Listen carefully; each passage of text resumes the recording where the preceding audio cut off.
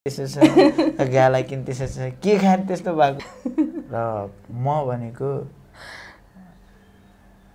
एकदम इमान्दार। आफूलाई रे के? सुरुमा प्याचे प्याचे नराम्रो बोलेर लास्टमा इमान्दार हो त्यो इमान्दारिता हो त्यो यो प्रेम कहिल्यै जानी जानी हुँदैन र त कहीँ कतै लेखेको सावधानी हुँदैन। वाह वाह वाह जिन्दगीको दुई पा दुईचोटि मैले ट्रान्सलेट गर्ने अवसर पाएँ मेरो आमाको। एउटा ट्रान्सलेट बाहिर आएन अर्को ट्रान्सलेट विश्वभरि छरियो। तपाईँहरूलाई विभिन्न विशेष व्यक्तित्वहरूसँग भेटाउँदै आइरहेको छु र आज पनि मसँग विशेष व्यक्तित्व हुनुहुन्छ। हाइलाइट्स मार्फत थाहा पाइसक्नु भएको छ हामीसँग को हुनुहुन्छ भनेर। अन्तर्वार्ता दिनको लागि हामीसँग हुनुहुन्छ। खबप्पु तपाईँहरूकै प्यारो खड्क बहादुर पुन मगर खबप्पु चञ्चल। चिन्नु भएन होला होइन? मास्क लगाएर बस्नु भएको छ। स्वागत छ यहाँलाई। मास्क मास्क चाहिँ किन लगाउनु भयो तपाईँले? धेरै धेरै धन्यवाद छ। अब यो विश्वमै सशङ्कित रूपमा फैलिरहेको कोरोना भाइरसले गर्दाखेरि नेपाल सरकारको कुरा पनि मान्नु पऱ्यो हुलमुलमा नजानु मास्क लाउनु सबै कुरा अलिकति सजग रहनु भन्नुभएको छ। अब म हिँडिराख्नुपर्ने। अलिअलि रुगाखोकी पनि लाग्छ फेरि तपाईँलाई पनि सर्ला भनेर। मलाई पनि लागेको छ कि? ए माइनस माइनस प्लस हुन्छ अरे होइन? त्यसो खोलौँ कि के हो? हुन्छ खोलो। तपाईँलाई अब। मार्क्सले मार्क्सले फाइदै भयो होला। एक त अब पब्लिक भेहिकल चढ्दाखेरि पनि अनि हिँड्दाखेरि पनि बाटोमा ओहो खबुपु खबुपु चञ्चल आउनुभयो भनेर भन्नुहुन्छ होला। त्योबाट बच्नु पनि पर्यो होइन। धेरै कुराबाट बचायो नि कोरोनाले मलाई। सेल्फी सेल्फी खिच्नको लागि यसरी आउनु पर्थ्यो। आजभोलि अलिक परैबाट एउटा फोटो भनेर त्यहाँबाट खिचेर जानुभएको छ होइन? हात मिलाउनु पर्थ्यो अँगालो मार्नु पर्थ्यो। अर्काको बुढीहरू मजाले अँगालो मार्दाखेरि पनि अलिक नराम्रो हुने जो अब फाइदा भएको छ अब यसलाई एउटा रमाइलो पाराले ल्यायो। तर सिरियस अब साँच्चै नै एकदमै खतराजनक तरिकाले आएको छ। नेपालका थुप्रै कार्यक्रमहरू स्थगित भएका छन्। हाम्रो पनि कार्यक्रम स्थगित हुने कि अगाडि चल्ने थाहा छैन। तैपनि यो चुनावको माहौलमा हिँड्नु पऱ्यो म गर्दैछु है भोट गर्नु होला भनेर हिँड्नै पऱ्यो होइन। त्यस्तै तिन तिन वर्षमा घर जानु भएको थियो अस्ति भर्खर अब फेरि कोरोनाले फेरि रोल्पै पुऱ्याउला जस्तो छ कि क्या रोल्पामा गयो भने त झन् त्यहाँ अब चिसो ठाउँ। यो भाइरस फेरि चिसो ठाउँमा फैलिने रहेछ हावामै फैलिने रहेछ। रोल्पालाई नि के बाँकी राख्ला। त्योभन्दा यतै नजिक बस्यो भने तातो पानी खाएर कोठाभित्र मास्क लगाएर बस्यो भने पनि बचिएला भन्ने हो। भलै अब पछि एकदमै गाह्रै पाऱ्यो भने अब म त नसकिने भयो मेरो गाउँतिर गएर मर्नु पऱ्यो भनेर गाउँ गएँ मात्र। तर सबै बचाउँ सबै बाँच्नु होला सबै बचाउ आफूलाई बचाउनु होला सुरक्षित अपनाउनु होला जहाँसम्म लाग्छ नेपालमा देखिएको छैन। डक्टरहरूले पत्ता नलगाएको हो कि अथवा नदेखिएको सकभर नदेखियोस् हामी भगवान्सँग त्यो प्रार्थना गरौँ। नेपाल नजिकै रहँदाखेरि पनि यत्रो लामो समय विश्वभरि धेरै देशमा देखिँदाखेरि पनि नेपालमा देखिएको छैन। त्यो हाम्रो भगवान् हो हाम्रो हावापानी पनि राम्रो भएको हो। मेसिन पनि अब कस्तो अर्कै खालको मेसिन छ अरे भर्खर सरकारले किन्दैछ अरे। कोही केही केही सर मेसिनहरू आएको छ अरे भन्ने कुरा छ। तर एकचोटि त्यो मेसिन पनि हेर्न पाए हुन्थ्यो भन्ने हो। ओके यो एउटा रमाइलो पाटो भयो तपाईँ अब कमेडी च्याम्पियन मार्फत सबै होइन नेपालीहरूको आँखामा छाउनु भएको छ। नजानिदो पाराले एक्टिङ गर्ने होइन कमेडी गर्ने हँसाउने। यहाँसम्म आइपुग्नु भएको छ। सपना जस्तो लागेको छ कि छैन तपाईँलाई? आफैलाई हेर्दाखेरि आफ्नो जर्नी। लाग्छ। सपना जस्तो लाग्छ। त्यही त्यही त जस सोच्दै नसोचेको कामहरूमा जस आइरहँदाखेरि त्यहाँ जाँदै गर्दाखेरि जस आफूलाई जस अर्कै खालको फिलिङ्स चाहिँ हुन्छ त्यो अनुभूति चाहिँ हुन्छ त्यो भएको हो मलाई। कमेडी च्याम्पियनमा पर्फर्म गरिरहँदाखेरि चाहिँ तपाईँको एकदम हुन्छ नि प्लस पोइन्ट देखिने भनेको त्यो तपाईँभित्र नै कन्टेन्ट नै कन्टेन्ट छ कि? आ- आफ्नै कुराहरूमा आफैले आफैलाई उडाएर मजा दिनुहुन्छ नि अरूलाई। त्यो चाहिँ कसरी सोच्नुभयो तपाईँले? म केही वर्ष अगाडि एउटा ट्रेनिङमा बस्दै गर्दाखेरि भन्दै गर्दा कुरा गर्दै गर्दाखेरि हामी तिन चारजना बसिरहेछौँ।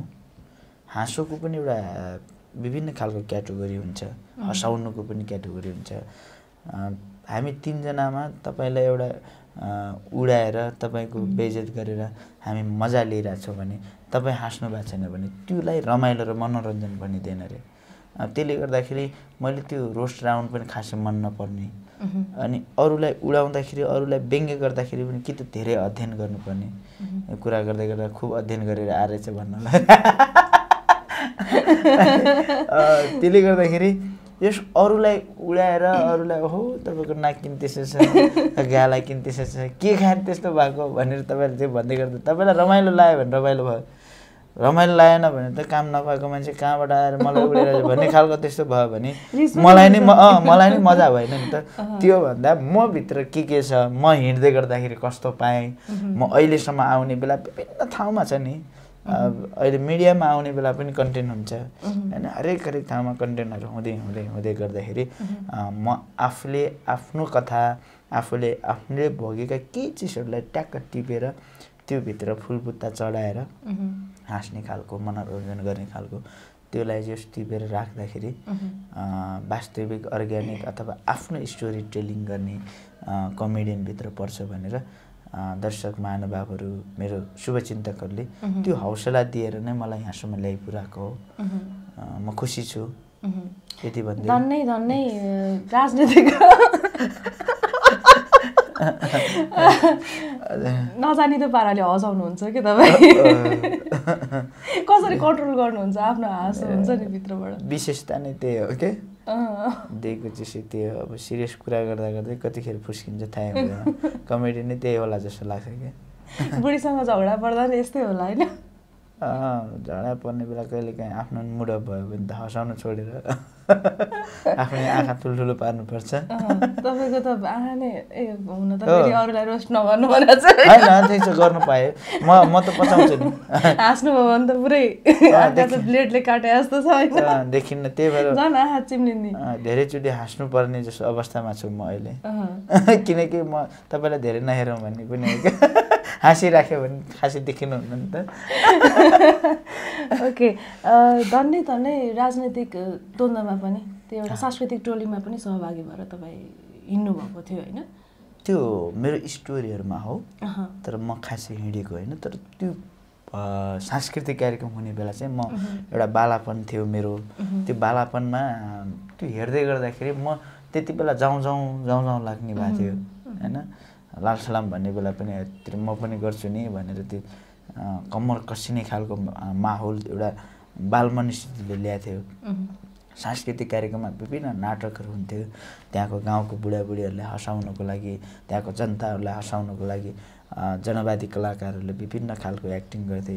त्यो एक्टिङ गरेको हेरेर म घरमा गएर हो म पनि यस्तै बन्छु। उनीहरू नाचेको हेरेर म नाच्न खोज्थेँ। उनीहरूले अभिनय गरेको देखेर मैले अभिनय गर्न मन लाग्थ्यो। त्यो चाहिँ त्यो माहौल त्यो वातावरण त्यो बनाइदिएको हो।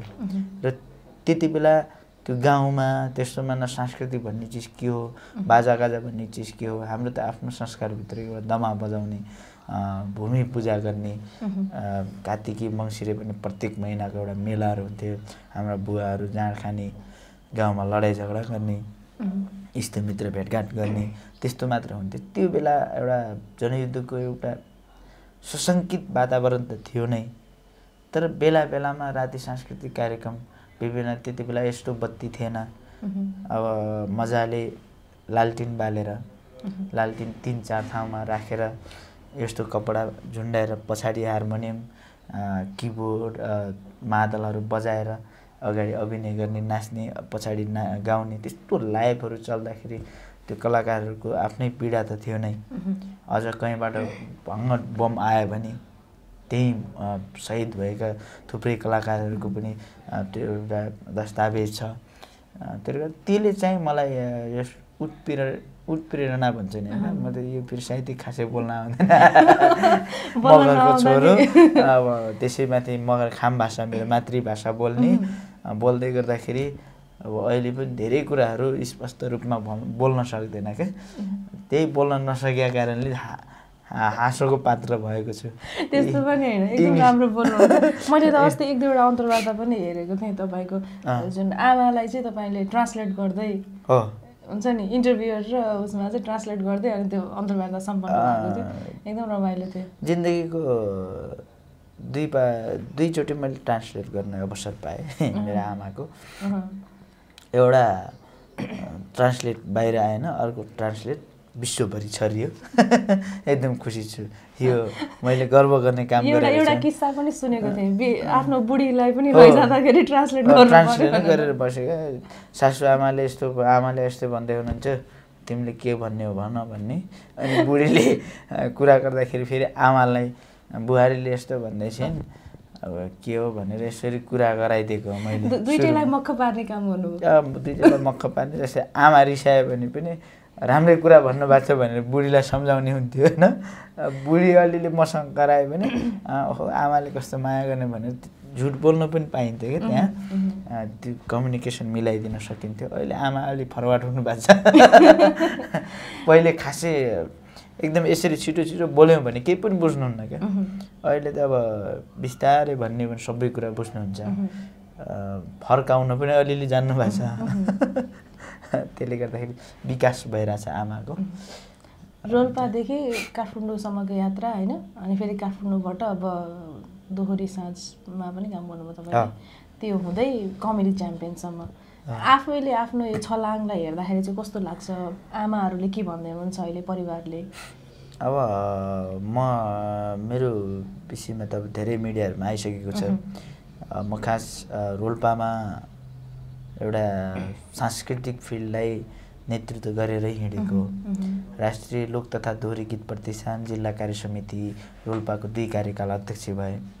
त्यसपछि सुनछारी कला केन्द्र भन्ने हामी त्यहाँ एउटा मात्र कला केन्द्र छ त्यहाँ। हामीले कल्चर डान्सहरू मोडर्न डान्सहरू सिकाउँछौँ।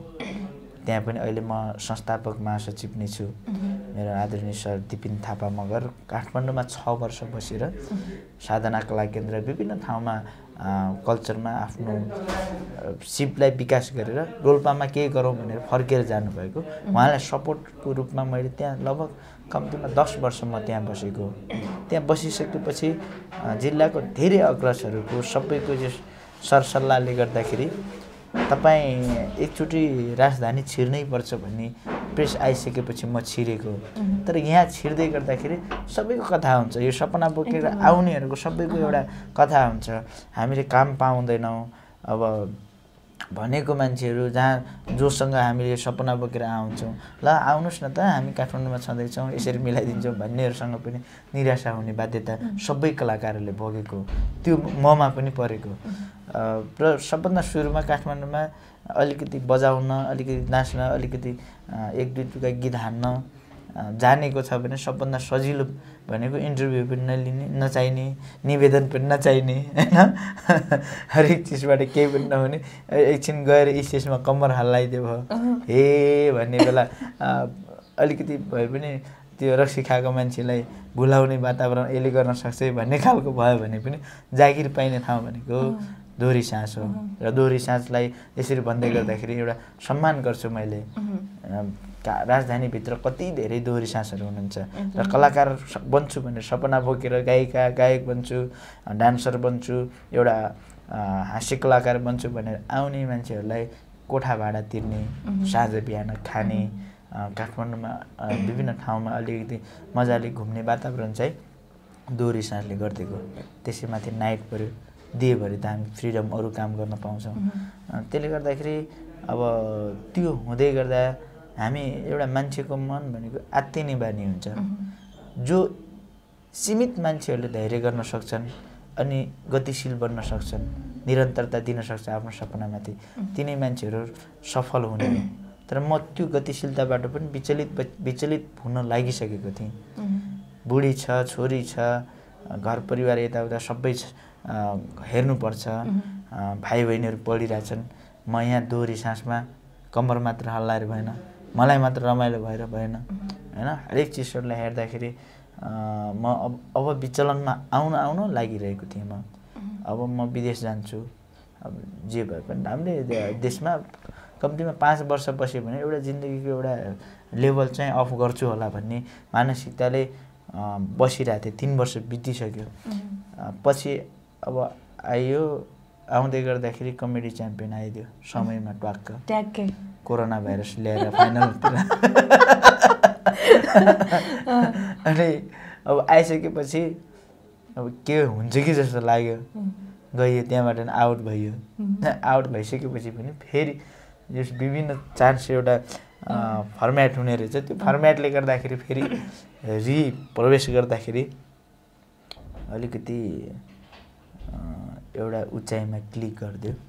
म कमेडी च्याम्पियनलाई यो कमेडी च्याम्पियन सो ल्याउने कमेडी च्याम्पियनलाई माया गर्ने सबैप्रति म बारम्बार किन सम्झिरहेको छु सम्मान गरिरहेको छु भने मेरो जिन्दगीको एउटा कायापलट भन्छ त्यो चाहिँ बनाइदिएको हो। एकदम तर तपाईँ एकदमै लकी मान्छे टप फिफ्टिनबाट आउट हुँदा नि फेरि टप ट्वेन्टी फोरबाट ट्वेन्टी फोरबाट आउट हुँदा नि फेरि वाइल्ड कार्ड मार्फत आउनुभयो। हो। र सरासरी सरासरी अब अहिले एउटा दावेदार नै हुनुहुन्छ होइन। विजेताको। अब- आइसकेपछि दावेदार गर्नु पऱ्यो होइन?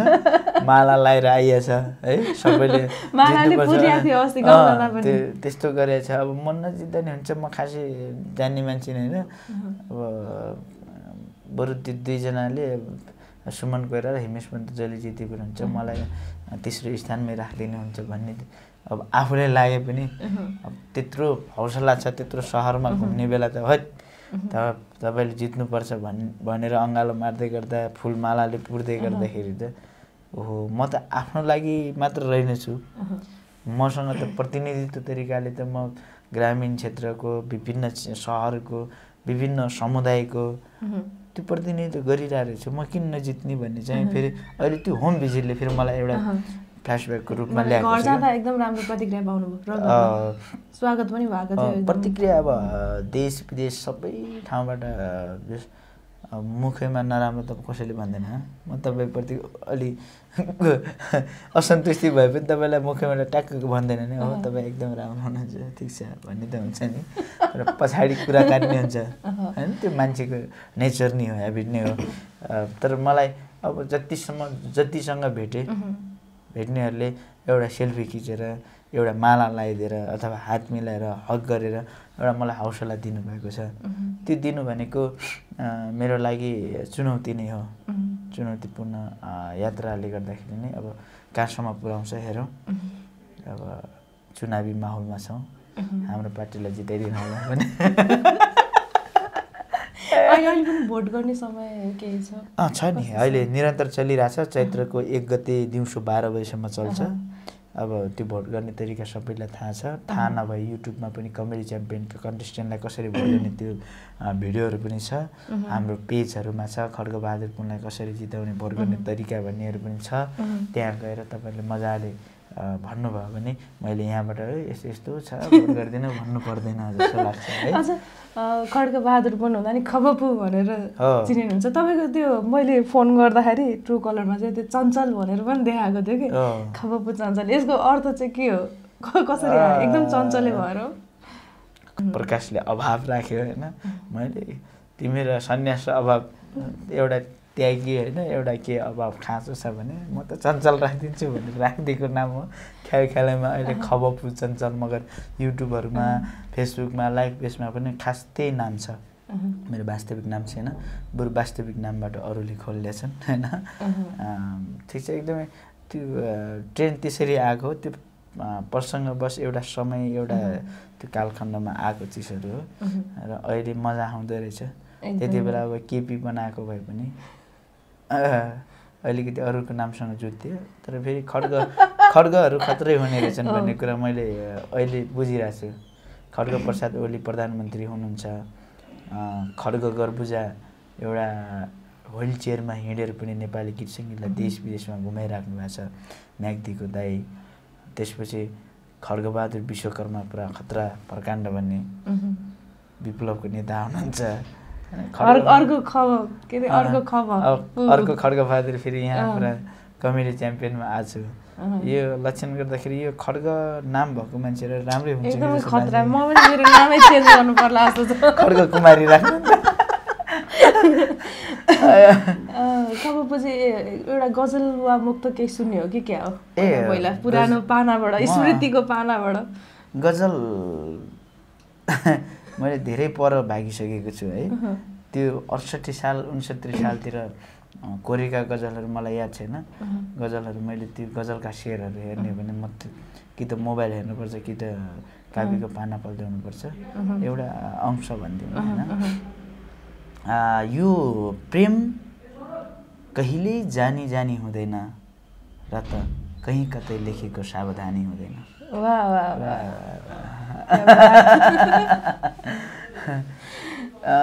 प्रेम कहिले जानी जानी हुँदैन र त लेखिएको कहीँ कतै सावधानी हुँदैन।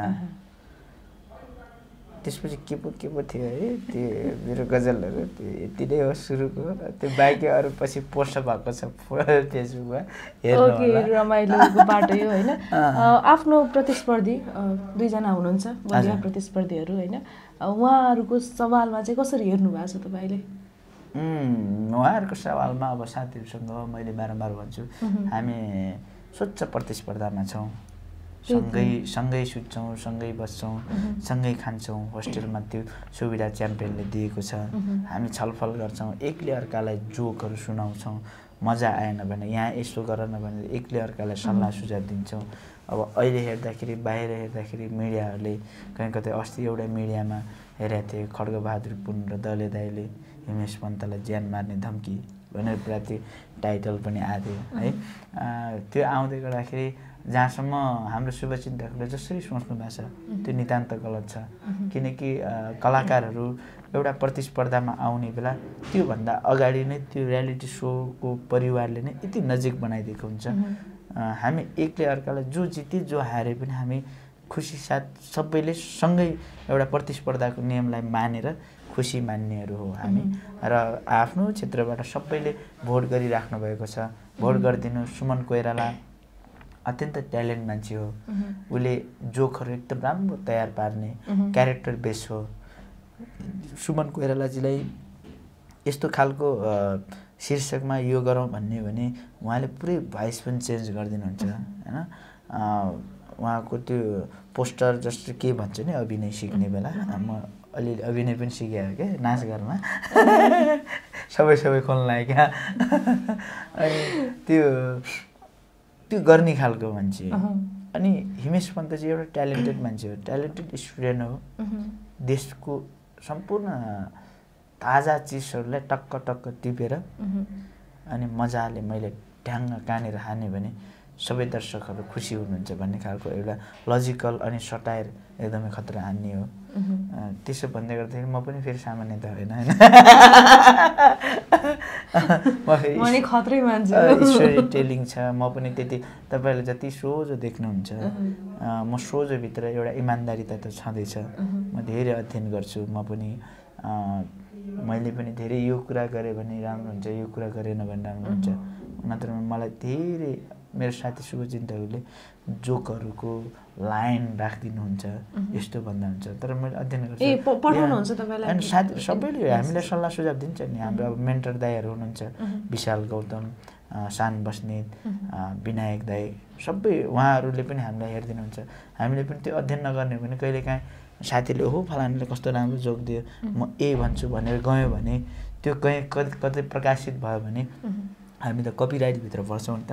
त्यही भएर मैले सबै अध्ययन गरेर म यसो सबैको हेर्दै गर्दाखेरि ल थ्याङ्क यू यो दिनुभयो।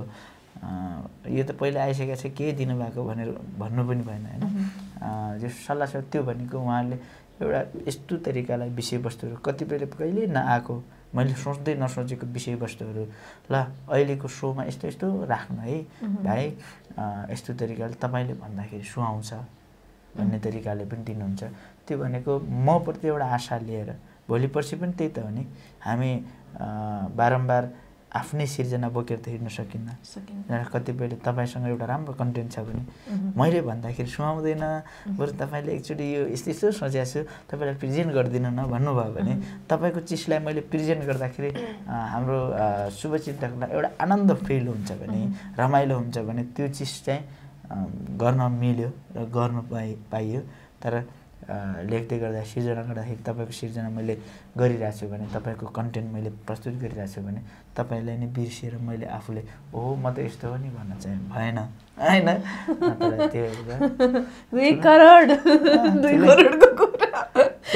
ठुलै नेता बन्ने हो नि। खासमा हाइट नभएर। सोध्छु के गर्ने यति बेला ठुलो पर्दामा त पहिले जाने हो नि। है? अब त्यसो छ। अब अब अलिकति कमेडीबाट जान सकिन्छ कि भन्ने आश छ। आफ्नो भित्रबाट चाहिँ कतिको लागेको छ एउटा हुन्छ नि पोजिटिभ पावर मैले चाहिँ जित्छु होला आई क्यान डु इट भन्ने टाइपको मैदान हो। खेलको एउटा नियम हो।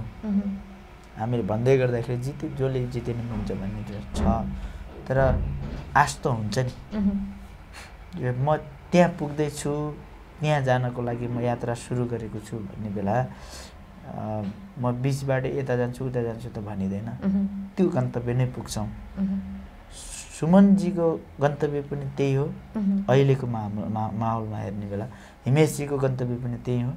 मेरो गन्तव्य पनि त्यही हो। जुन गन्तव्य हो कमेडी च्याम्पियनको ताज हामीले बोक्ने। त्यो बोक्दै गर्दाखेरि अब सबैले त्यो बोक्ने सपना बोक्दाखेरि त्यो गन्तव्यतिर लम्किँदै गर्दाखेरि अब मलाई हौसला दिनेहरूले मेरो सपोर्टर गर्नेहरूले भन्दै गर्दाखेरि ओहो म साँच्चै बोक्छु कि एउटा दुःख छ। र फेरि मलाई जति माया गरिराख्नु भएको छ मेरो फ्यानहरू जति हुनुहुन्छ त्यतिकै फ्यान सुमनजीको पनि छ। त्यतिकै फ्यान हिमेशजीको पनि हुनुहुन्छ। त्यसले गर्दाखेरि उहाँलाई पनि एउटा आशा छ। त्यो हेरौँ मैले बारम्बार भन्छु सबैले भोट गरिदिनु होला। उहाँहरूलाई पनि भोट गरिदिनु होला मलाई पनि भोट गरिदिनु होला। तर अलिकति धेरै मलाई भोट गरिदिनु होला भन्छु कि? गर्ने बेला मेरो धेरै आयो भने। जित्ने भनेको त्यही त हो नि। फ्यान फ्यानहरूको हुन्छ नि मेसेजहरू चाहिँ कतिको आउँछ फ्यान त फ्यानको मेसेज त धेरै छ। म्याक्सिमम् मेरो दुई हजारको लाइक पेज अहिले चालिस पैँतालिस हजार पुगेको छ। त्यहाँ धेरैले कमेन्ट गर्नुहुन्छ। धेरैसँग म बोल्न पाएको छैन। फेसबुकमा अब मलाई एड गर्नु पऱ्यो मलाई रिक्वेस्ट पठाउनु पऱ्यो अथवा मलाई एक्सेप्ट गर्नु पऱ्यो भन्ने थुप्रै हुनुहुन्छ। मेरो एउटा फेसबुक पहिल्यैदेखि चलाएको त्यो एउटा मात्र आइडी छ। त्यहाँ पनि पाँच हजार पुगेको छ। फलोवर धेरै हुनुहुन्छ। अनि कतिपयले हामीलाई साथी नबनाउने एक्सेप्ट नगर्ने हामी भोट गरिदिने भोट चाहिन्छ चाहिँदैन भन्नुहुन्छ। त्यो धम्की। भन्दा त्यो क्रेजी भएको प्रेम प्रस्ताव चाहिँ कतिको आउँछ? प्रेम प्रस्ताव चाहिँ मेरो बुढी बुढीको सबै मिडियाले उदाङ्ग पारिदिइहाल्यो अब ढाँटेर कहीँ एक दुईजनालाई म कन्ने हो नि भन्ने वातावरण नै भएन होइन? त्यो भइसकेपछि अब को नारी हो तपाईँ तपाईँले मेरो बुढी छ मेरो श्रीमती छ भन्ने थाहा पाउँदा तपाईँले मलाई प्रपोज त गर्नुहुन्न। त्यो जस्तै अब धेरै उहाँहरूले जस धेरै सोचेर बुझेर मेरो साथीहरूको त राति फोन आउँछ अरूहरूको फोन आउँछ। मेरो त त्यो वातावरण पनि छैन क्या बिचरा बुढीसँग होला के डिस्टर्ब गरिदिने केटी मान्छेको आवाज आयो भने उनीहरूको जिन्दगी बिग्रिएला भने मेरो दर्शकहरू त एकदम विवेकशील हुनुहुन्छ नि।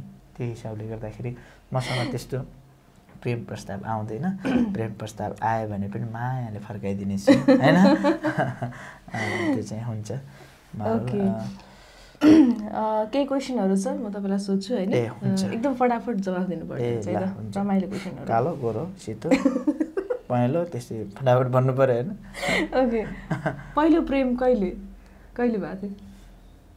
पहिलो प्रेम दुई हजार पैँसठी साल। डोल्पामै प्लस टू पढ्ने बेला।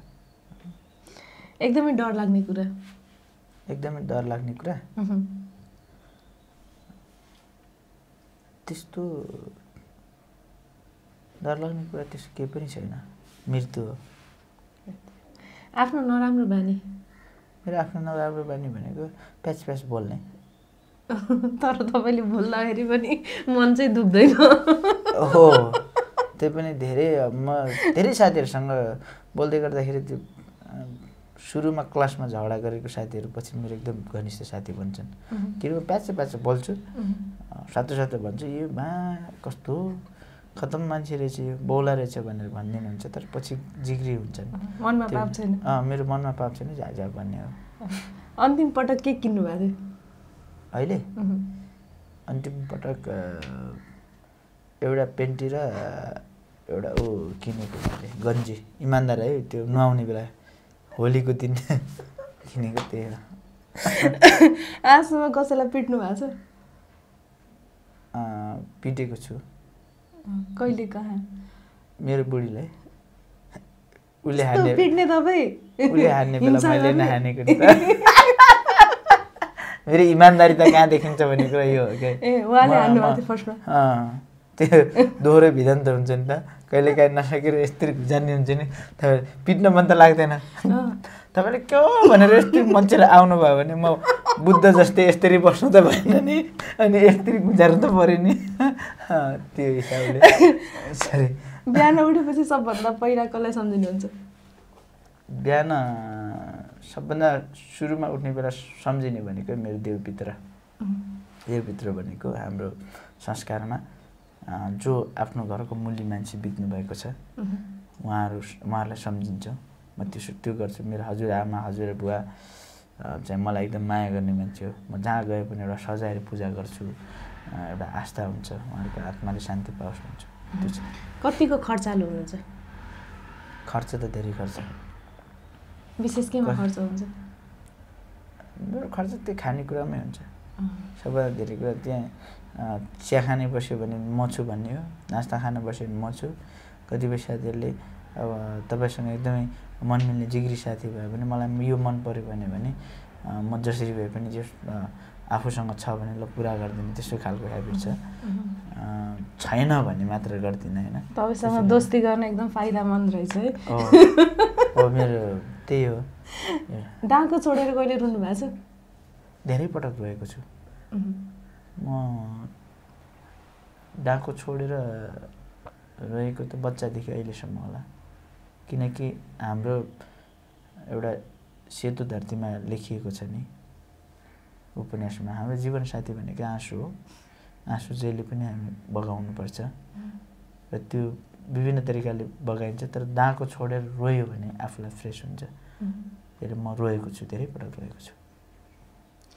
अब चाहिँ यो एउटा एक शब्द अथवा एक वाक्यमा भन्नुपर्छ है। आमा। हजुर। आमाको बारेमा भन्नु पऱ्यो भन्नुहोस्। ए एक शब्दमा भन्नु। आमा भगवान् हो।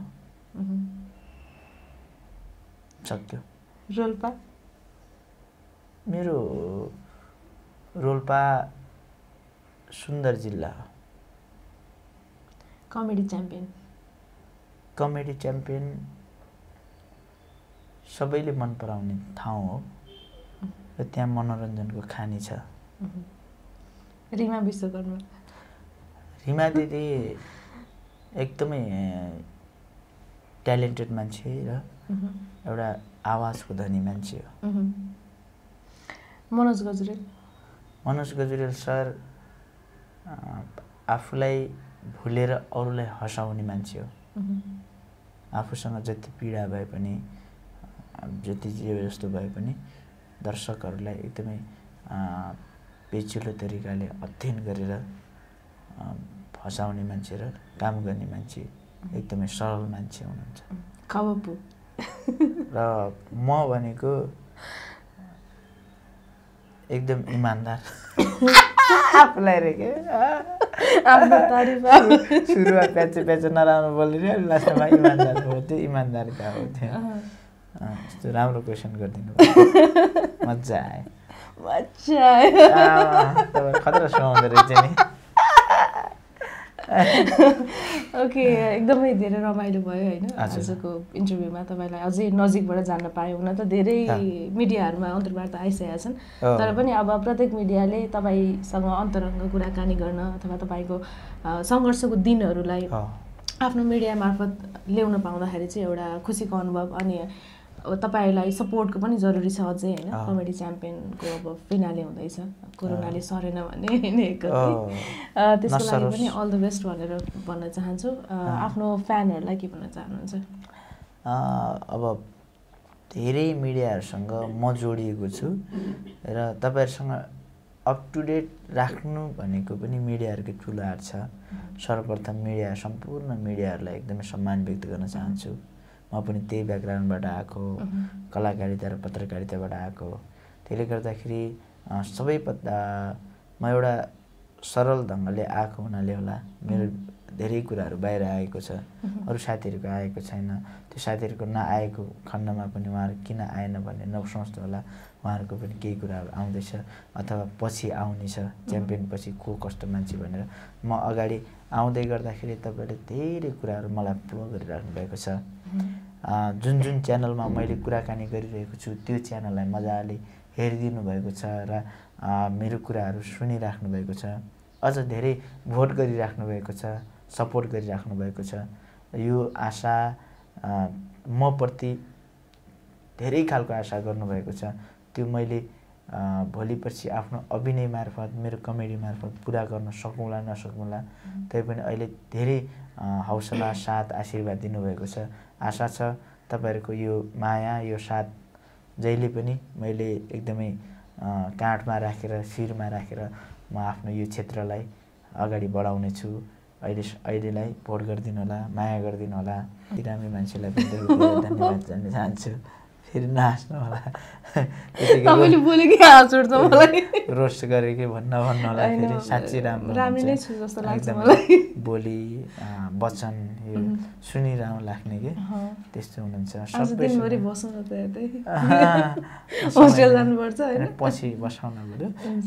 त्यति भन्दै तपाईँहरूलाई एकदमै धेरै धेरै धन्यवाद छ सम्मान छ। क्यामेरामा बस्नुहुने सरलाई पनि। त्यो काट्दै गर्नु म भन्दै गर्छु नि त। हुन्छ धेरै धेरै धन्यवाद तपाईँलाई समयको लागि। अल द बेस्ट पनि भन्न चाहन्छु होइन? जित तपाईँको पोल्टामा होस् र जितेपछि फेरि अन्तर्वार्ता लिन आउनेछु। दर्शकहरू सबैजनालाई उहाँलाई भोट गरिदिन अपिल गर्दै आजको यो कार्यक्रमबाट बिदा माग्छु। हवस् त नमस्ते।